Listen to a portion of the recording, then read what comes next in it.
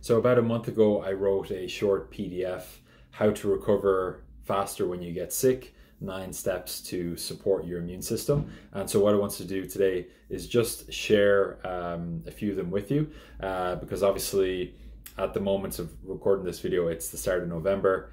And if you live in Ireland or anywhere in the Northern Hemisphere, it's most likely that you're probably going to get sick or run down or a cold or a flu or something like that at some point across the winter. And it's really common. Um, and it's happened so many times over the last few years that I decided to write out like nine kind of main steps that I follow myself and I know work well. And uh, from my own experience, have have worked very very well, uh, not only for for me but people that I've worked with as well. Um, so a couple of the main ones I wanted to share with you today. Obviously, sleeping more is going to be one of the biggest ones, you know, because um, obviously if your immune system and your in general you're just run down, then you want to recover as fast as possible. And the only way that you're going to recover is by getting more deep sleep, more quality sleep.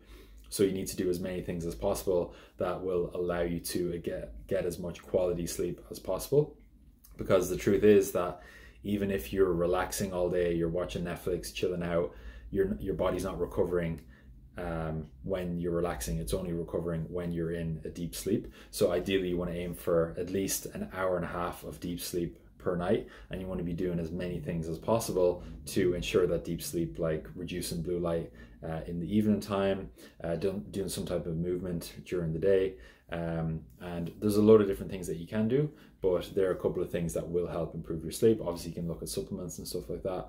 Um, also, uh, if you are a little bit run down, run down, or you have a cold or, or a flu, you need to uh, take a deload from training. So essentially, a, a deload uh, or a recovery-based week is where you'll do still doing some activity, uh, still doing some workouts, but you're doing it at 50% intensity. So subjectively, when you do a workout, you want it to be a 5 out of 10 intensity wise because at least if you continue to do some really easy, you know, workouts and a bit of stretching and stuff, you're going to feel more productive. It's going to create a little bit more energy.